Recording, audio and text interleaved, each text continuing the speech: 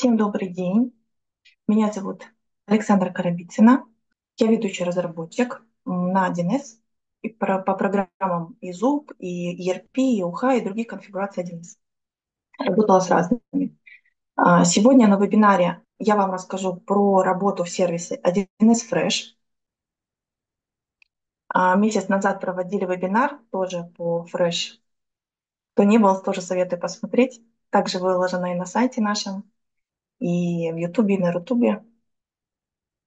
Полезно и тем, кто работал, и кто не работал на самом деле. Сегодня у нас вебинар будет как продолжение того вебинара, поэтому в любом случае рекомендую к просмотру. А в планах на самом деле сделать серию вебинаров, то есть будут еще следующие, а, будет один плавненько вытекать из другого. Так, программа вебинара, наш план на сегодня. Поговорим, что такое менеджер сервиса 1С Fresh, а, по рекомендациях по работе в сервисе, как в нем работать, как настроить резервное копирование в сервисе, можно ли делать свои печатные формы без помощи разработчиков во Fresh, и как добавить свои доработки для работы в сервисе Fresh. А, в конце оставлю время для вопросов. Если на что-то не ответила по ходу вебинара, отвечу в конце. Постараюсь ответить на все. Если будут какие-то объемные, обширные вопросы, то, как повторюсь, вынесем на отдельный вебинар. Расскажем с примерами и все покажем. Итак, а, на слайде, кстати говоря, QR-код – это ссылка на вебинар, который был 30 а, сентября. Мы проводили вебинар по Fresh, первый вебинар. Итак, 1С Fresh – это облачный сервис а, для ведения учета в программах 1С, такие как бухгалтерия, розница, управления нашей фирмой, ERP а, и других в облаке. А доступ к системе Fresh предоставляется через облако в сети. При этом для начала работы, работы во Fresh не нужно устанавливать э, программу на локальный компьютер. Потребуется только доступ а, в интернет с любого устройства, логин и пароль, и можно работать. Личный кабинет 1С Fresh называют менеджером сервиса. А для входа в личный кабинет нужно зайти на официальный сайт 1sfresh.com. А, можно видеть а, скриншот на слайде. Э, в верхнем правом углу находится поле для логина и пароля. Давайте я вам прям покажу на сайте. Вот, справа вверху у нас есть логин и пароль. Нажимаем «Войти», попадаем в личный кабинет. Здесь я встаю учет на записи. Ага, технические работы. Вовремя. В общем, вводим логин и пароль и попадаем после кнопочки «Войти» а, на сайт, и дальше будет ссылка личного кабинета. При нажатии на личный кабинет мы попадаем в сам личный кабинет, который называется менеджер сервиса. Так, как зарегистрироваться, да, получить логин и пароль? Если у вас еще нет личного кабинета во Fresh. Чтобы самостоятельно зарегистрироваться в сервисе 1С Fresh, нужно зайти на главную страницу, выбрать пункт «Зарегистрироваться» и начать работать. Здесь тоже на скриншоте видна эта кнопка, раз у нас сайт временно технические работы, зарегистрироваться и начать работать. При переходе система предложит один из трех возможных вариантов. Давайте попробуем еще раз. Зарегистрироваться, начать работать. Да, вот один из трех вариантов. Первый – это регистрация. Это для пользователей, а, которые еще не работали в программах 1С. Здесь необходимо ввести первичные данные, ФИО, электронную почту, телефон, придумать пароль. Можно изменить на более доступный, понятный да, для вас или оставить случайно сгенерированный. Обязательно при регистрации внимательно проверить почту. Это важно при регистрации во Fresh. Телефон, номер телефона, чтобы в случае утери пароля или забыли пароль, можно было легко его восстановить а, по телефону или по почте. После регистрации, после первой регистрации, пользователю будет открыт бесплатный доступ в сервис 1С Fresh на 30 дней, полный доступ причем. Ну, а далее уже продлевается, приобретая подписку, да. Через некоторое время система автоматически зарегистрирует пользователя и перенаправит а, в свой личный кабинет. То есть заполнив все поля, нажав зарегистрироваться, поставив галочку, вы уже попадете в личный кабинет. И в верхнем правом углу будут отображаться ваши, ваши, ваши данные. Войти. Нет, глюк. Я думаю, что это все-таки глюк сайта, потому что здесь он нам дал выйти. А, так, второй вариант регистрации, да, если у вас нет логина и пароля. Это если вы уже пользуетесь программами 1С и хотите перейти на работу в сервисе 1С Fresh. В этом случае вы выбираете второй вариант, он находится ниже под регистрацией. Здесь необходимо выбрать обслуживающую организацию, нажав на ссылку «Выбрать партнера», где приобреталась программа, соответственно, и с кем необходимо перейти в Fresh. И здесь можно в открывшемся окне выбрать организацию, там по городу, по наименованию, например. Наберем Кадерлайн. Вот, Кадерлайн. Здесь можно увидеть контактную информацию, чтобы связаться для перехода в облачный сервис. А, связавшись с организацией, вам вышлют код приглашения. А, код приглашения приходит также на почту. Переходя по нему, у вас откроется похожая формочка, как при регистрации мы только что смотрели. А, единственное, там будет заполнить код приглашения, и также можно поменять пароль на удобный, доступный вам. И после активации таким образом приглашения вы будете работать, э, вы будете иметь доступ в Fresh э, уже с вашей именно организацией обслуживающей. Потому что изначально, если вы регистрировались первым вариантом, то обслуживающая э, организация подберется сервисом Fresh. Там не будет возможности выбора, только если потом переходить, да.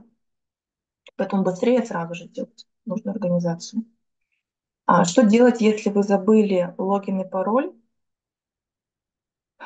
от сервиса 1С Fresh? В ситуации, когда логин и пароль утеряны в сервисе 1С Fresh эм, или забыты, происходит довольно часто. А что нужно делать для восстановления доступа? На официальном сайте в правом верхнем углу находятся поля ввода да, логина и пароля. И вот ссылка, кнопка «Восстановить пароль». А, перейдя по этой ссылке, попадаете на форму восстановления а, доступа. Там можно ввести почту, адрес электронной почты, который как раз вы указывали при регистрации. И кнопочка «Восстановить».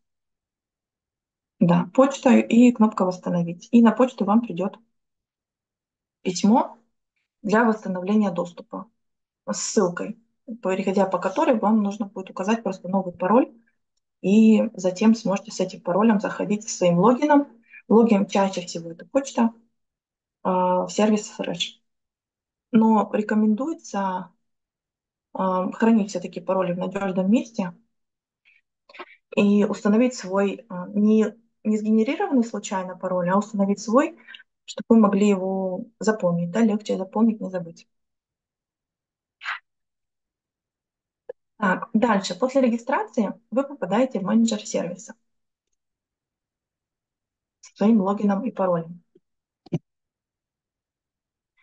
А, менеджер сервиса выглядит следующим образом. Справа вверху а, есть информация о ваших данных, фамилия, имя, отчество и персональные данные а, пользователя, да, вас как пользователя. Здесь можно внести изменения это сделать несложно. А, нужно зайти в менеджер сервиса, в личный кабинет, а, в разделе «Мои данные», нажать на строчку с вашим ФИО, это ссылка, ссылка, кнопка, и в открывшемся окне диалоговом а, отображаются персональные данные. Почта, логин, пароль, которые при необходимости можно изменить. Например, для смены рабочего адреса почте в разделе, если у вас почта изменилась, основная, вот в которой в том числе идет восстановление пароля, нужно нажать на кнопку «Изменить» и в открывшемся окошке ввести новую почту. А, точно так же можно управлять и другими да, контактами, изменять. Можно фотографию добавить. Что нужно делать, если 1С Fresh недоступен? Бывает такое, как у нас сейчас, например, но я так понимаю, что это не сам сервис, это часть сайта, потому что сервис работает, база у меня открыта. Но если недоступен, когда вы прямо в базу не можете свою зайти, в которой вы работали, что нужно делать в этом случае? Сам сервис 1С Fresh а, работает в... Работа происходит в облачном формате, в облаке. А для доступа к программе всегда необходимен, необходим интернет. Если зайти в базу не получается, первое, что необходимо проверить, это интернет-подключение. Возможно, есть сбои на линии а, у провайдера или технические неисправности роутера. И в этом случае также рекомендуется перезагрузить маршрутизатор, сам роутер, перезагрузить интернет и снова попробовать подключиться, зайти в базу. В большинстве случаев на самом деле этого достаточно. На самом деле неполадки с интернетом исправляются, и в базу можно попасть. А в исключительных случаях причиной недоступности сервиса также могут быть технические проблемы 1С со стороны 1С уже не пользователя. Например, когда проводит, проводятся DDoS-атаки. Не знаю, надеюсь, что не сталкивались, но бывает такое. Да, проводятся DDoS-атаки, и вот фреш недоступен. Однако серверы 1С надежно защищены, и нарушить их работу не получится. А, над восстановлением, над восстановлением доступа к ресурсу всегда работает большое количество грамотных специалистов, которые быстро устраняют на самом деле атаки, неполадки в короткий срок. Если же у пользователя недоступен 1С Fresh, и при этом нет вышеперечисленных проблем с интернет-подключением, все нормально, то тогда необходимо обратиться в техническую поддержку для оперативного решения проблемы. Для этого необходимо узнать свой IP-адрес либо у администратора системного или с помощью сервиса. Например, Яндекс, у Яндекса есть такой сервис узнать свой IP-адрес компьютера. QR-код на слайде я разместила, где можно посмотреть свой IP-адрес. А, узнав свой IP-адрес, написать письмо а, на адрес поддержки 1sfresh, support собачка 1sfresh.com с описанием проблемы и указанием своего IP-адреса. И третье – это уже дождаться ответа. На самом деле быстро отвечают, а, исправляют ситуацию и доступ восстанавливается. Это редко, но бывает. Нужно знать, что, что делать в этом случае. Итак, а, при работе с облачной 1С Fresh в облаке от пользователей часто довольно-таки поначалу особенно поступают вопросы, как открыть облачную 1С на ноутбуке, на компьютере, а что такое тонкий клиент 1С Fresh, как установить его на компьютер и так далее. Сейчас я о них как раз, на них как раз и отвечу. Работа в облаке или во Fresh а, можно работать либо через веб-браузер или через тонкий клиент. Работая через веб-браузер, пользователю достаточно перейти по ссылке и приступить к работе в 1С прямо в браузере. А, но у этого варианта работы во Fresh а, есть свои недостатки. Например, невысокая производительность, случайное открытие базы в двух окнах, в двух закладках браузера, вот как у меня сейчас открыта закладка браузера бухгалтерии, и точно так же случайно их может быть открыто две, три одной и той же базы. Это может приводить и к зависаниям, а, и сеанс может закрыться, потому что у Fresh есть также ограничения по сеансам. И для настройки электронной подписи и оборудования также работа через веб-браузер, при работе через веб-браузер может, доступен, может, быть, может потребоваться подключение специалиста для этих целей. В отличие от веб-клиента, от работы через веб-браузер, тонкий клиент а, более производителен и исключает вот вышеперечисленные затруднения на самом деле. Одно из преимуществ тонкого клиента – это возможность работы при низкой скорости интернета. И на самом деле отмечу, что рекомендуется работа а, в сервисе 1С Fresh именно через тонкий клиент. Установка самого тонкого клиента проста. То есть если мы работаем через веб-браузер, то понятно, у вас стоит браузер, вы в нем открываете, заходите в 1С Fresh, открываете базу и работаете в закладке. А, при, тонком, а, при работе через тонкий клиент вам необходимо его установить. Установка проста, есть подробная инструкция, как это сделать. На слайд добавила QR-код, ссылку на инструкцию. Она у меня, кстати говоря, открыта. Да, установка использования тонкого клиента для Windows. Есть также и для Linux, для других э, инструкций. Можно также здесь в поиске найти эту инструкцию. Это в открытом доступе, не обязательно заходить э, с логином и паролем. Здесь в инструкции подробно рассказано, как определить версию, скачать, установить, настроить и запускать приложение. И в том числе про автоматическое обновление тонкого клиента. То есть это не то, что один раз его установили, и все. Он устанавливается определенной версии. Здесь можно скачать. В дальнейшем при обновлении во Fresh у нас обновляется база автоматически, сами конфигурации. А, может понадобиться, естественно, обновите саму, сам тонкий клиент на другую версию. Это выполняется тоже автоматически, уже заходить снова, искать инструкцию, что нужно сделать, не надо. 1С сама подскажет, что нужно обновить тонкий клиент для работы. Нажимаете «Обновить», «Запустить», и все, 1С само скачает нужную версию, установит и запустит вам базу в нужной версии тонкого клиента. А, итак,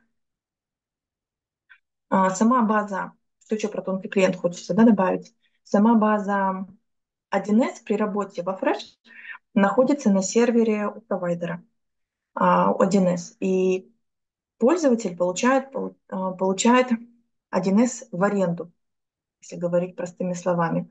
Пользователю не нужно покупать мощные компьютеры, саму программу и клиентские лицензии. Для полноценного доступа к облачный 1С во Fresh, нужна только подписка. Как доступ? Доступ к сервису. Подписка и подключение к интернету, естественно, с любого устройства. А, будь то с компьютера, с ноутбука, планшета, даже со, со смартфона. Для бухгалтерии есть и мобильная версия бухгалтерии. Можно с телефона заходить. А, при этом пользователям не надо следить за обновлением, повторюсь, задуматься о совместимости с платформой, беспокоиться о резервных копиях. Об этом тоже сегодня поговорим, кстати, по резервной копированию. Итак, тонкий клиент. Про инструкции мы с вами установили. Теперь, как добавить э, базу, свою базу для работы. А, в списке баз необходимо нажать на кнопочку «Добавить». А, при запуске 1С мы, у нас открывается окошко со списком баз. Выбираете нужную, нажимаете кнопочку «Добавить». А, далее появится выбор, здесь как раз-таки у меня скриншот, выбор а, для добавления выбираем добавление в список существующей информационной базы, потому что она у вас есть уже во Fresh. Далее выбираем называ, а, указываем наименование базы, например, бухгалтерии, я здесь указала, как она будет называться в списке, и указываем, что база у нас на веб-сервере находится. Адрес информационной базы – это ссылка, ссылка на базу. Ее мы берем прямо вот в браузере, у нас есть ссылка.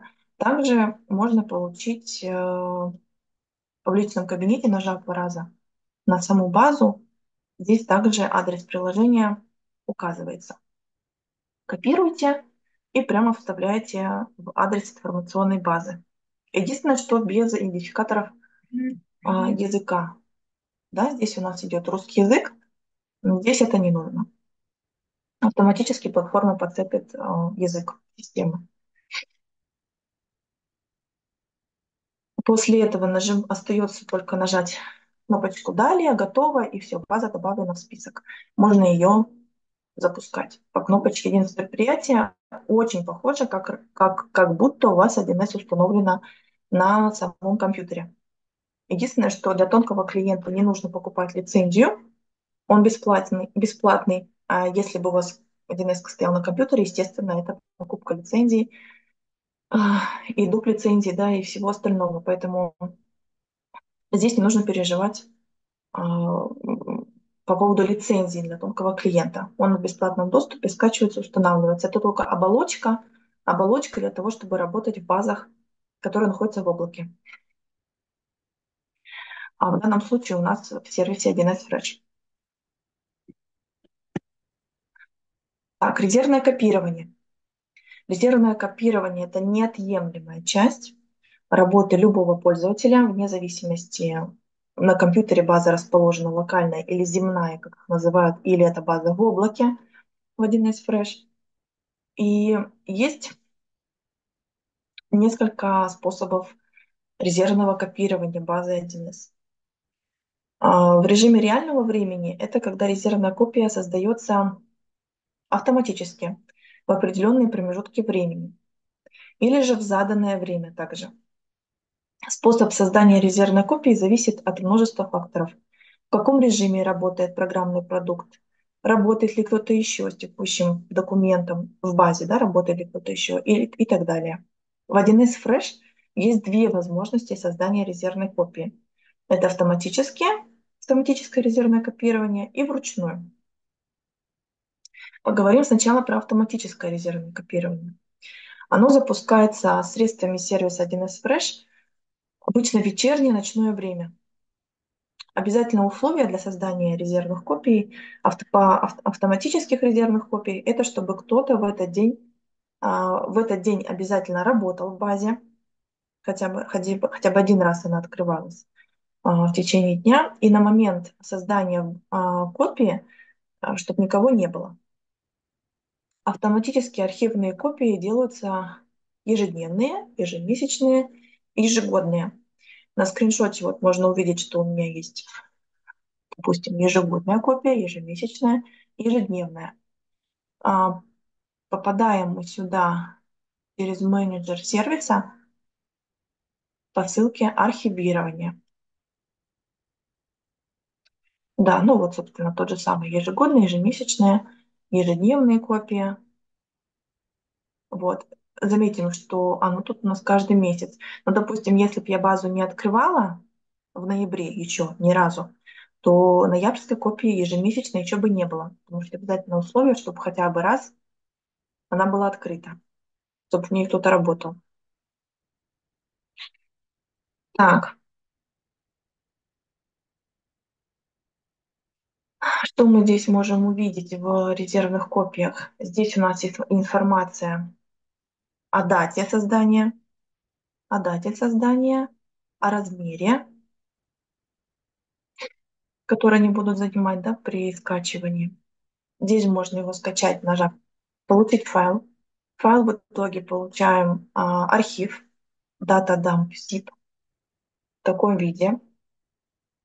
Кстати говоря, через э, эту архивацию это единственный способ э, восстановить базу в это же приложение. Допустим, у меня сейчас есть одно единственное, одна единственная база, а их может быть много, одна единственная база. И я могу восстановить архивную копию. Допустим, я поработала, поняла, что я сделала что-то не то, хочу откатиться. Чтобы откатиться прямо в эту же базу, это можно сделать только вот отсюда. У меня здесь кнопочка не активна, а, потому что у меня права урезанные, да. А у полным, под полными правами, заходя у себя, у вас здесь будет рядышком кнопочка «Восстановить». И вот при нажатии «Восстановить» а, указываете свое приложение, и тогда эту копию можно прямо в эту базу восстановить. Во всех остальных случаях для восстановления необходимо будет создавать новую базу, и в нее будет подгружаться а не в эту же. А новая база, естественно, это значит новая ссылка, другая ссылка для добавления и так далее.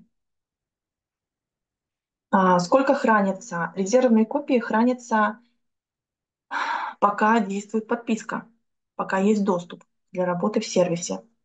После окончания подписки, если по какой-либо причине она была не продлена, резервные копии хранятся в сервисе еще 60 дней. 60 дней, после чего удаляются. А если же старая база а, не нужна, ее можно удалить. Тогда тоже копии не будут делаться. Удаление происходит, а, нажав на кнопку «Удалить». У меня ее здесь нет, потому что, опять-таки, доступ да, ограничен. А скриншота тоже нет. Ну, сам факт, что при нажатии на правой кнопкой здесь появится «Удалить». Вот есть «Изменить», есть также «Удалить» приложение. И здесь на самом деле тоже есть эти кнопки «Удалить». И тогда база будет э, находиться в процессе, удаляется какой-то период. Вот. И после удаления, если вы сами удалили базу, э, решили, что она вам не нужна, то там э, архив хранится этой базой э, один месяц. Не 60 дней, а один месяц.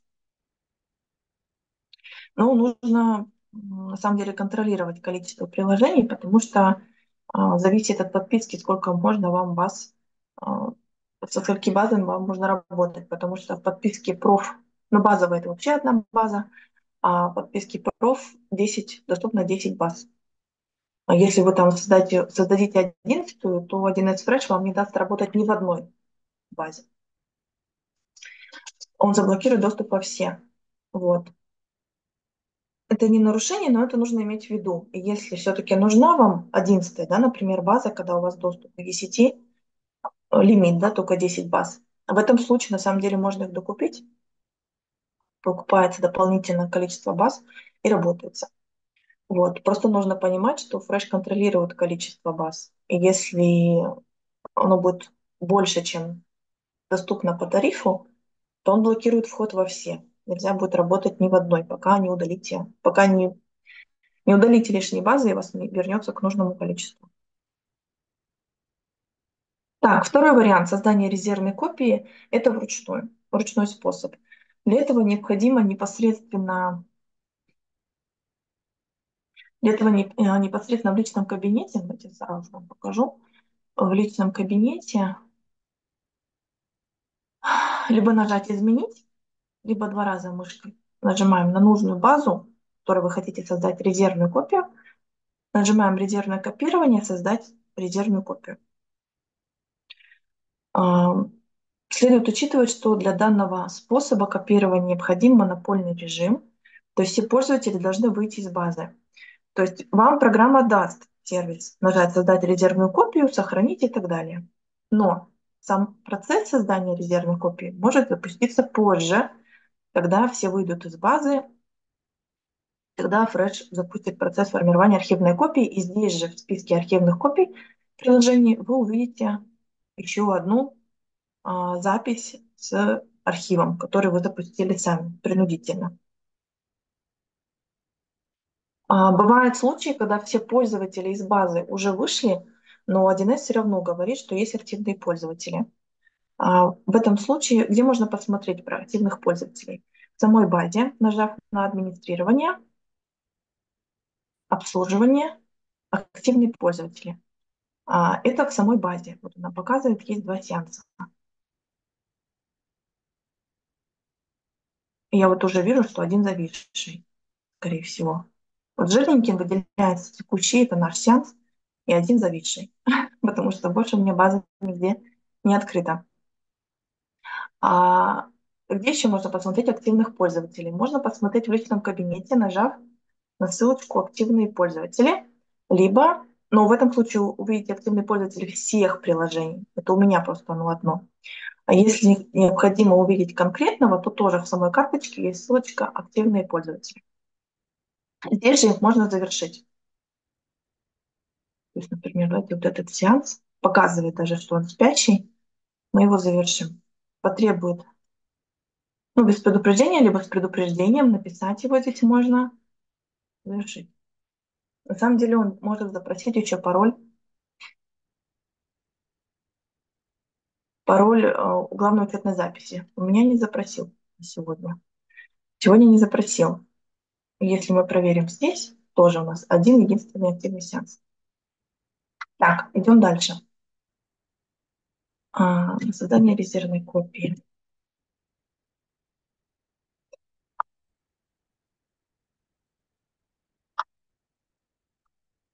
Про резервное копирование.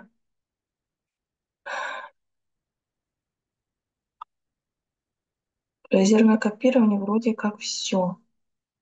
Если есть вопросы, а, повторюсь, то обязательно пишите в чате, либо кто смотрит записи, пишите в комментариях.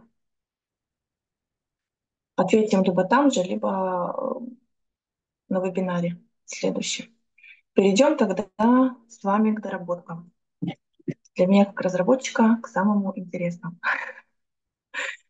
Так, а, пользователь локальных 1С, кто работает в земных да, версиях 1С, знает, что можно расширить функционал программы за счет использования внешних отчетов, доработок, также расширений, ну и непосредственно изменения самой конфигурации внутри.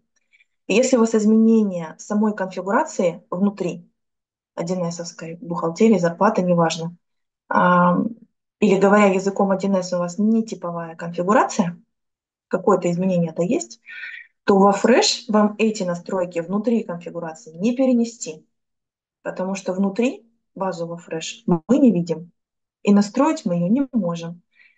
Соответственно, эти настройки вам в Fresh не перенести.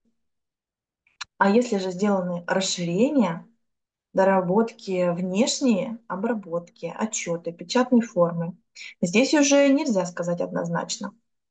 Однозначно, что нельзя, нельзя сказать. В первую очередь необходимо, чтобы эти доработки соответствовали регламенту разработки для сервиса Fresh и прошли проверку, так называемый аудит сервиса Fresh. Аудит занимает где-то 1, 2, 3 максимум рабочих дня. А, по результату аудита может прийти либо список замечаний, почему не подходит данная доработка во Fresh, либо успешный ответ об успешном прохождении аудита, и, соответственно, можно подключать и работать во Fresh с этими доработками. Поэтому здесь важно успешное прохождение аудита. И да, может быть такое, что аудит э, будет неуспешный, и замечания, которые придут, их не, не исправить, потому что этого требует доработка. Бывает такое. Чаще всего универсальные обработки не подходят для фреш. Для этого их нужно просто как совет сделать менее универсальными, то есть более конкретизировать, для чего нужна эта обработка, и сделать ее менее универсальной. Тогда больше вероятности, что она пройдет аудит, и можно будет ей пользоваться. Также во Fresh есть возможность добавлять расширения других разработчиков прямо из приложений, из баз да, во Fresh. А, называется этот функционал магазин расширений. То есть это где можно найти еще да, доработки, которые вам в помощь. Здесь не просто 1С, прямо в приложении можно выбрать расширение из каталога. А, находится на главной страничке в разделе «Поддержка», в данном случае бухгалтерии, но на самом деле во всех конфигурациях во Fresh есть на главной странице «Поддержка», и там есть магазин расширений. А, здесь множество разработок программистов, которые дополняют, адаптируют 1С. Также можно и свои наработки добавлять в магазин расширений. А, где можно посмотреть вообще, есть ли у вас доработки в базе. Может быть, вы работаете и не знаете, у вас вообще есть доработки или их нет. Для этого необходимо зайти в своей локальной базе, ну или во Фреше, если вам интересно, в раздел «Администрирование», печатные формы отчета и обработки. И здесь у нас есть расширение и дополнительные отчеты и обработки. Если мы нажмем дополнительные отчеты и обработки, увидим пусто, ничего нет. Если у вас в локальной версии есть что-то, значит, скорее всего, вы этим пользуетесь, и здесь нужно ставить вопрос, а можно ли это использовать тоже во фреше. Либо от этого можно отказаться, если вы планируете перейти в фреш. Расширение тоже у меня тут в демо-базе список пустой, у вас здесь может быть что-то и есть. И после установки, если вы будете устанавливать что-то из менеджера сервиса, например, или свои доработки, они у вас также здесь во фреше должны появиться при успехе. И в доп. обработках, если что-то, и в расширениях. Подробнее про аудит, про магазин расширений, как добавить именно свою доработку во фреш, обработку или расширение, мы также смотрели на вот первом вебинаре, который был 30 сентября, месяц назад. Там подробно тоже это рассматривали, и QR-код, вот у меня здесь как раз QR-код на этот вебинар. Можно посмотреть. Сейчас останавливаться не буду. Перейдем к другому. Отдельно хотелось бы еще поговорить по доработке про печатные формы. А, печатные формы в 1С. Как разработчик тоже могу сказать, что запрос на свои печатные формы один из самых популярных, все так же остается один из самых популярных, а, но мало кто знает, что на сегодняшний день их можно настраивать под себя самим. И смотри, потому что 1С сделал этот функционал как раз-таки потому, что это самый популяр, один из самых популярных запросов, добавил этот функционал для пользователя, как можно для себя самим сделать печатные формы. И довольно-таки он не сложный, то есть не нужно быть супер разработчиком для того, чтобы делать печатные формы. Там, конечно, не полный функционал, но достаточно много чего можно сделать. Вот это я и хотела сегодня вам показать. А, не основа разработки в 1С, а именно как можно самим под себя что-то подправить, не обращая к разработчику. А, сейчас посмотрим на примере 1С бухгалтерии а, печатной формы договоров. Откроем прямо в базе, вот во фреше, в моей демо-базе. У нас есть шаблоны договоров. Это типовые шаблоны, можно открыть их, посмотреть. Прямо здесь подправить. То, что выделено жирненьким в фигурных скобках, это будет заполняться автоматически. Допустим, мы с вами хотим создать новый, новый договор возмездного оказания услуг. Давайте мы только его назовем. Как мы его назовем? Стоимость а, у нас есть. Что можно добавить? Можно посмотреть здесь, вставить в текст. Здесь есть реквизиты организации, в том числе просто слово именуемое, именуемое, если где-то необходимо, и банковские реквизиты, и контактная информация, руководитель, представитель и так далее. Можно добавлять реквизиты контрагента с другой стороны, да, тоже реквизиты, контактная информация. Если это заведено, естественно, в базе, оно все выведется. Что касается договора, тоже есть прописью, не прописью, сумма НДС, без НДС. Счет на оплату а, тоже, если печатается договор из не справочника договоров, а из счета на оплату тоже, можно ставить суммы, то, что написано в счете. Так, давайте посмотрим, например, организация. Вот давайте у нас есть юр-адрес. Пишем, что это у нас юр-адрес. Добавим почтовый. У меня тут ИП. ИП я завела Петров. Почтовый адрес. Почтовый адрес. Просто пишу текст. Дальше нам нужно, чтобы он автоматически вставился. Ставить в текст наш реквизит, раз у меня там организация ИП я завела почтовый адрес. Вот, он у нас здесь отобразился. давайте тогда здесь добавим договор возмездного оказания услуг, почтовый адрес, чтобы он отличался от другого, да, чтобы нам не путаться. Записать, закрыть. А, вот он у нас появился. А, здесь на самом деле ну, можно и жирность, и курсивом, и больше, и меньше. В общем, редактирование, редактирование договора, подставить его под себя. Также здесь можно создать пустой свой какой-то договор или, не знаю, или расписку какую-нибудь.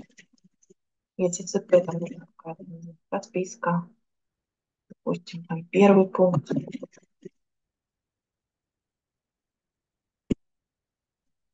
Второй, третий.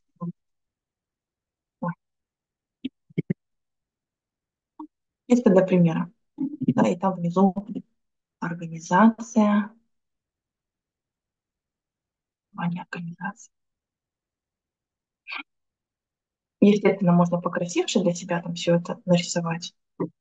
Сейчас просто для примера. И что? И давайте напечатаем. Давайте из договоров. У меня тут один договор заведен. Организация ИП. Петров.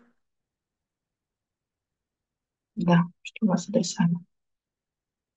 Да, вот у меня тут есть адрес. И почтовый, он отличается. Вот давайте напечатаем.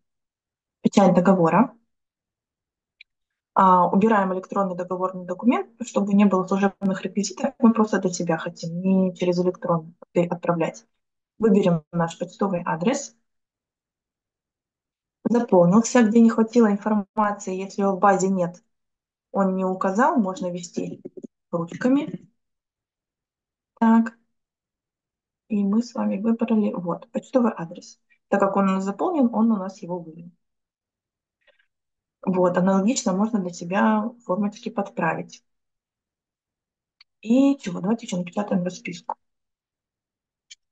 Да, вот расписка.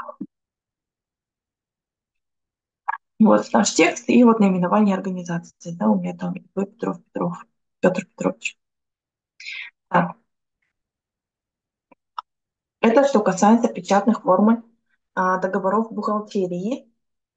Бухгалтерии. А что же с остальными формами? Печатными. У нас не только же договора есть, не только в бухгалтерии. А с остальными печатными формами. Также есть возможность изменения, редактирования и добавления своих печатных форм пользователю без обращения к разработчику. Есть и для ОНФ, и для зарплаты, и для остальных. Где же эта функционал находится? Здесь мы уже идем с вами в администрирование, печатные формы учета и обработки, макеты печатных форм. Сейчас тоже на примере какого-нибудь складского вот у меня открыто. Здесь у нас все макеты печатных форм по разделам разделенные. Ну вот давай, давайте, например, в складе. Акт на списание материалов. Это сама печатная формочка, которая печатается, которая печатается сейчас, типовая на языке разработчиков, типовая печатная форма. Здесь также можно и шрифт, и цвет, и выделение, и текст какой-то добавить, а, любой, да, что-то свое, реквизиты. Здесь уже немножечко проблематичные, здесь нету подсказок. Но это что касается текущей печатной формы. Можно создать макет табличного документа новый, создать макет, даже из OpenOffice, создать новый, давайте мы его отредактируем. Например, у нас здесь выводится подразделение, дата документ. Давайте глянем, печатается у нас из расходных. У меня тут одно заведено, акт на списание. А вот так он выглядит. Разделение нет. Цель расхода, да, например, выводится здесь. Допустим, вам нужно вывести цель расхода не здесь, а где-нибудь, не знаю, вверху. Зайдем сюда. А, цель расхода. У нас так идет реквизит. Способ заполнения ячейки. Указан параметр. Если текст это просто текст, параметр, значит он будет заполняться. Шаблон это значит там есть и текст, и параметр для заполнения. Тогда мы сделаем таким образом. Я вот здесь напишу тоже цель расхода. Не хочет копировать. Цель расхода, да? Свойства.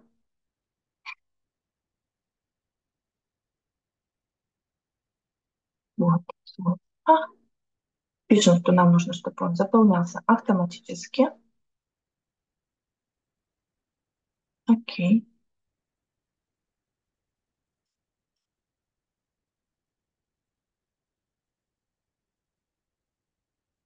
Вот это к тому, что может тормозить в, в браузере. Так, параметр расхода. Затер, что я написала.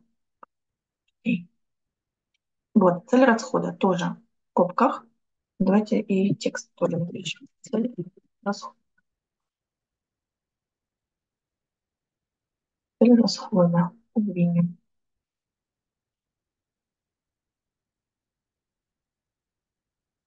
И вот.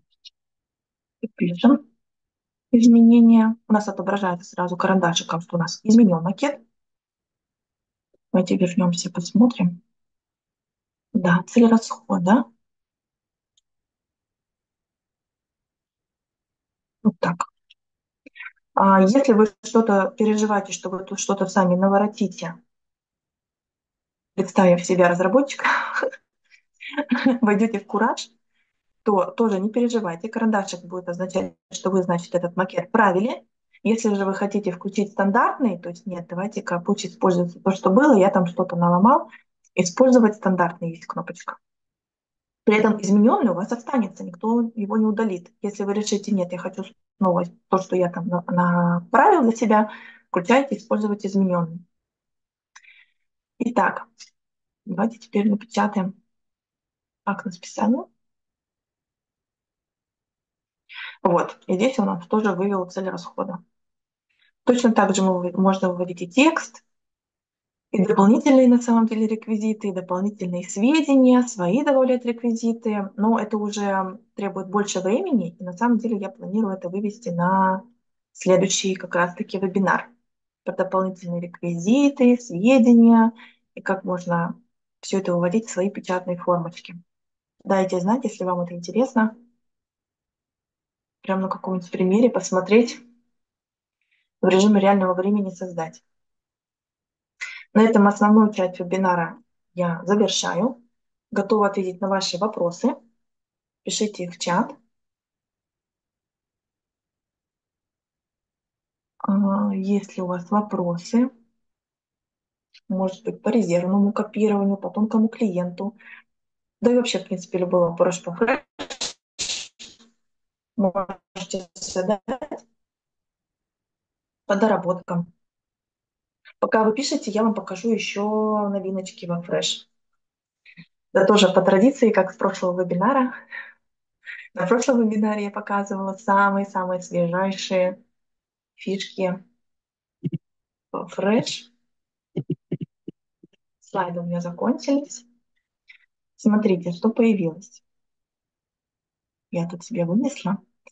А на прошлом вебинаре я показывала про ассистент бухгалтера. Это супер новая фича, которую тоже просили у разработчиков. Ее сделали, сделали доступной всем и бесплатно. Пользуйтесь, пока она бесплатна. Через магазин расширений, про который я рассказывала. Это возможность отправлять счета, акты и так далее автоматически. Вот, написано здесь про это. И в каких приложениях это реализовано. Ну, бухгалтерии это уже чего стоит. Так вот, здесь тоже все объяснено. Это ладно, это я говорила на прошлом вебинаре. А сейчас что еще появилось? А, появилось заполнение остатков на складе. Можно прям заполнить документы по остаткам. Какие? Передачи товаров, перемещение, реализация, списание, накладная. Все это можно заполнить остатками на складе. Раньше такой возможности не было, но очень-очень хотелось. Сейчас это можно добавить, работая во Fresh, через магазин расширений. И еще самый-самый свежачок, это а, появилась возможность а, загружать данные о кассовых чеках, бесплатная возможность. Платных-то было, много вариантов. Разработчики там делали свои доработки, выкладывали в магазин расширений. Платно было, бесплатно не было. Теперь есть и бесплатный вариант загрузки чеков. Тоже в каких приложениях это есть, возможности, что можно сделать с чеками как использовать, пожалуйста, вся инструкция с картиночками, а, со скриншотами, с описанием, все как положено. Можно брать, ставить себе базу и работать. Печатать в библиотеке тоже можно. Документ приложить сразу к соединенным файлам. Кассовые чеки. Это четно. Как установить расширение, здесь тоже все написано со скриншотом. Но устанавливается на самом деле, как и любое расширение, ну, через магазин расширений. Стандартная процедура. А, вот, в бухгалтерии и в ОНФке можно пользоваться этой, вот этой новой фишкой. 14 октября мы выложили статью. На самом деле мало кто, мало кто еще пользуется. Пользуйтесь. Делается все для пользователей. Так,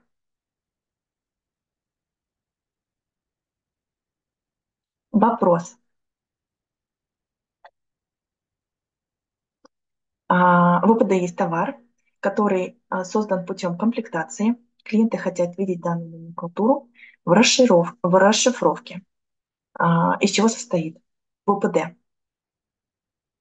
Так, поняла. Поняла даже путь, откуда эту информацию взять. Но если говорить, можно ли это сделать, вопрос, да, собственно, в чем? Можно ли сделать? Изменить, да, УПД? Можно ли изменить ОПД, э, чтобы выводилась эта информация и использовать да, его в том числе для правки в ИДО? А, пользователю в данном случае здесь скорее нет. Нельзя добавить эту информацию. Но вопрос на самом деле интересный. Я бы его прям вот взяла на следующий вебинар, а, что прям с вами в онлайн в режиме реального времени сделать, попробовать. Потому что есть функционал более, более широкий для создания печатных форм. Это более сложно сейчас сразу же вам открыть и, и делать. На сегодня, я думаю, достаточно того, что я сегодня показала. А если прям делать отдельный вебинар по созданию своих печатных форм без помощи разработчиков, такой как мастер-класс, то вот туда вот можно было бы, чтобы я подробненько, спокойненько на каждом моменте бы остановилась и объяснила, понятно, почему я туда Туда тыкаю, то нажимаю, то добавляю. Спасибо большое, Анна, за вопрос на самом деле. Я его себе отметила, запомнила. Так, вопросов пока новых нет. Тогда я предлагаю на этом завершить. Онлайн, кто будет смотреть записи, тоже. Вы большие молодцы, что досмотрели до конца. А, еще раз приглашаю вас посмотреть первый вебинар по теме 1С Fresh. А, он был вот в конце сентября, 30 числа. Что такое 1С Fresh? Сегодня у нас была работа в 1С Fresh. Следующий вебинар, скорее всего, будет как раз-таки по доработкам. Там будут и дополнительные реквизиты, сведения, все остальное. Да, в декабре, планируется в декабре. Ну, будет обязательно анонс на эту тему. Вот, еще раз благодарю всех за внимание. Всем хорошего дня и до новых встреч.